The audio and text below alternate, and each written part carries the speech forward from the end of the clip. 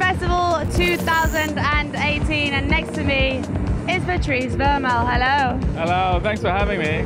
Thank you for coming. How are you? Yeah, I'm wonderful. That was absolutely fantastic. Yeah, I mean, the crowd is crazy. It's so big here. I, I didn't even expect that. And see the sun come up. Uh, yeah, it was just a wonderful festival. It's your first ever time here, right? Yeah, yeah, I've never been here before. So, what are your like first impressions of the festival? It's huge. Uh, people really go for it. It's like uh, the energy is super high. Um, and people seem to be super friendly as well. It's a very, very friendly atmosphere. I think that was a very, very good crowd today. Yeah, yeah, absolutely. And they love their techno here. Yeah, they really love Yeah. that techno, yeah. If you could describe the festival in three words, what three words would they be?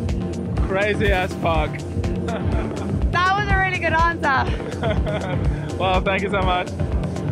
Are you going to stay for a little bit longer? or Do you have to go? I'm sure you have a busy schedule. I have a flight to catch at like 11 o'clock uh, from 200 kilometers away. So I'm taking the car to the hotel, get my stuff, go to the airport, playing in Barcelona this afternoon. Nice. So you're going to keep it Espanol. Exactly. Yeah, yeah, yeah, yeah. Yeah. Listen, we just wanted to say to you from Dreambeach and also from Ibiza Global Radio a big, big thank you for being with us today. Well, thank you for inviting me. It was an absolute honor, and just uh, it's a crazy lineup, and to be part of it was just like wow. You were absolutely incredible. They absolutely smashed it. So thank you. Thank you so much. Yes.